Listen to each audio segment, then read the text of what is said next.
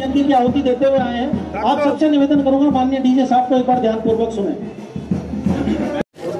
आज ये जिला विधिक सेवा प्राधिकरण और ग्रीन आर्मी और जो इससे जुड़े हुए जो हैं स्कूल वगैरह और यहाँ का जो नगर निगम और स्मार्ट सिटी प्रोजेक्ट है उनसे जुड़े हुए सभी लोगों के द्वारा आज वृक्षारोपण का ये आयोजन किया गया है।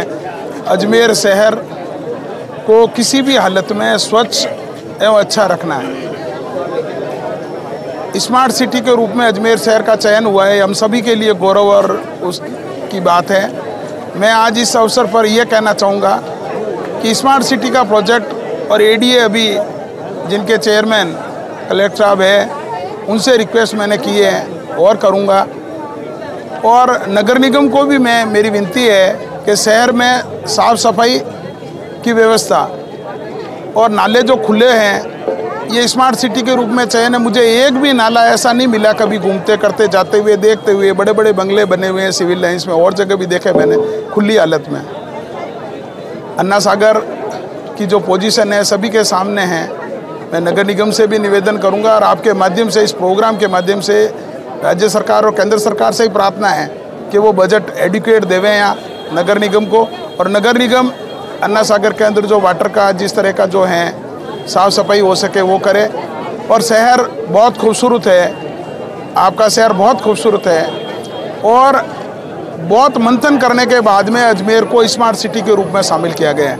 हम सभी स्वस्थ रहें, दीर्घायु रहें, लंबे समय तक जीवित रहें। इसके लिए ज़रूरी है कि अच्छा स्वास्थ्य के लिए अच्छा जीवन चाहिए, पर्यावरण अच्छा चाहिए। और पर्यावरण को अच्छा रखने के लिए जो पौधे, पेड़ पौधे लगाए गए हैं, ऐसी व्यवस्था, परंपरा चलती रहे। बहुत बहुत धन्यवाद। थैंक यू सभी जुड़े हुए उन लोगों को बहुत बहुत धन्यवाद। अमावस्या के दिन जिस प्रकार का प्रण, जिस प्रकार का आह्वान ग्रीन आर्मी और विभिन्न सामाजिक संस्थान ने मिलकर के जिला विधिक सेवा प्राधिकरण सहित नगर निगम, भारत विकास परिषद, योगा क्लब, ग्रीन आर्मी सबने मिलकर के आज 2022 से ज़्यादा पौधे लगाए हैं।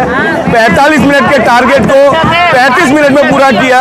निश्चित रूप से हर वर्ष इसी प्रकार से सभी अजमेर के पर्यावरण प्रेमी इस पर्यावरण की इस मुहिम को बढ़ावा देंगे। अजमेर स्वस्थ हो, स्वच्छ हो, सुंदर हो, इस मुहिम में विभिन्न सामाजिक संगठनों का मैं आभार भी प्रकट करूँगा और आह्वान भी करूँगा कि अब पॉलीथीन फ्री अजमेर हो इस पर भी प्रयास हमको करने चाहिए। आने वाले टाइम में मुझे लगता है कि ये अजमेर जो ग्रीन है क्लीन बने क्लीन ग्रीन हो और सुंदर हो।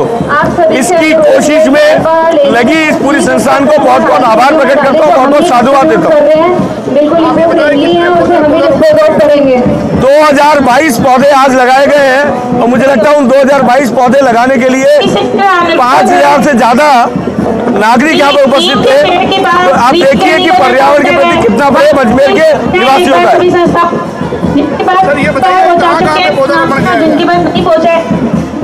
करके यहाँ मानसरोवर हाथ जोड़ के निवेदन का जो ये मेन रोड अभी नया बना है इसके डेढ़ किलोमीटर के परिक्षेत्र में ये पौधे लगाए गए हैं। वैशाली नगर क्षेत्र के मानसरोवर एरिया सागर बिहार एरिया तकरीबन डेढ़ किलोमीटर का जो ये परिक्षेत्र है उस परिक्षेत्र में पौधे लगाए और यहाँ के पार्षदों ने और सभी नागरिकों ने ज़िम्मेदारी लिए उन वृक्षों का दो साल तक पोषण करने की।